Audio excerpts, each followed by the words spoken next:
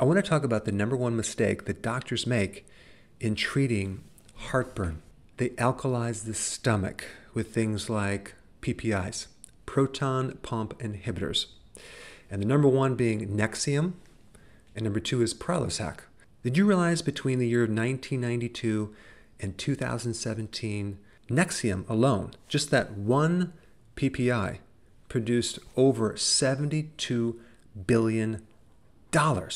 So these PPIs are one of the most widely sold medications in the world, and I think there's about eight of them. And they're used to treat indigestion, ulcers, GERD, gastritis, and of course, then the doctor will tell you to, uh, you know, eat more fiber in the form of whole grains, avoid fat, and then eat bland foods like crackers. but here's the problem: the grains alkalize the stomach. And I think the missing link is not fully understanding the significance and the importance of having a very acidic stomach.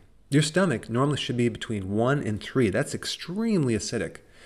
And within a stomach like that, you should be able to digest pretty much anything.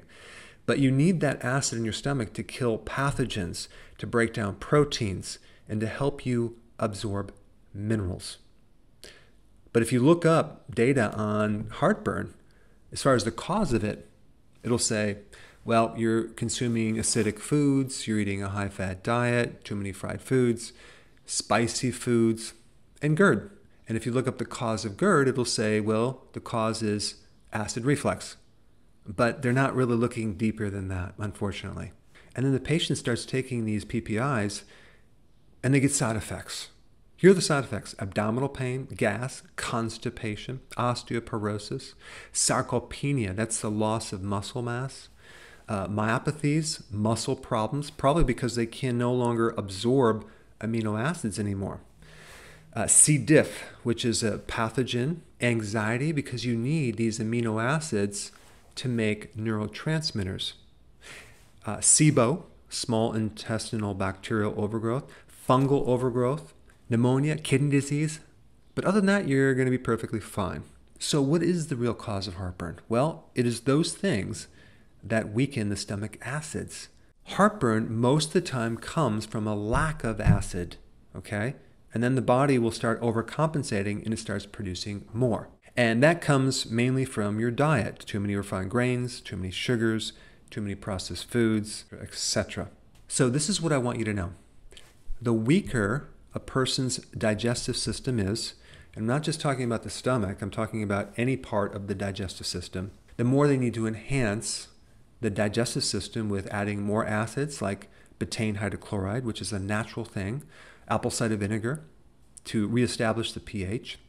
Add purified bile salts, which will assist the gallbladder in helping you digest fats. Add probiotics to help you digest fiber.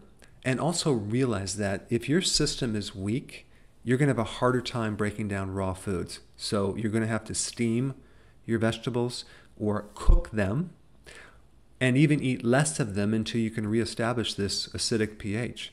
And ferment your vegetables, like in sauerkraut, pickles, and other vegetables. Very, very important. That way, you can lessen the plant chemicals like oxalates, phytates, lectins, and tannins that can just tear up your intestines. And also, fattier meat is much easier to digest than leaner meat. And I think that has to do with number one, you're able to stimulate more bile production and help more digestion. Uh, what stimulates bile is fatty foods.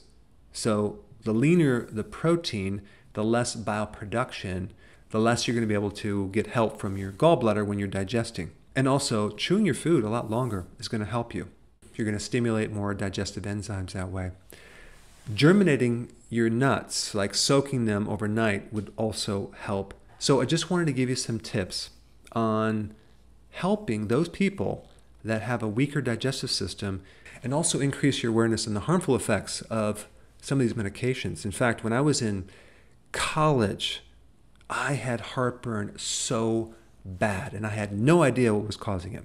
Of course, I was eating pure refined carbohydrates and tons of grains, but low fat, lean proteins, of course. I had very little awareness on health. Um, I was taking uh, Tums just like candy all day long until I get an ulcer. So that just went on for years and years and years. In fact, for breakfast, I remember eating um, a lot of cereal and muffins, thinking that was the thing to do. But little did I know it was weakening my system over time. So it wasn't until I really understood the significance of the stomach acid that I started to turn things around and um, completely get rid of those symptoms. Thanks for watching. Hey, before you go, if you're benefiting from any of my content, I would love to hear about your success story. Please share it in the link down below.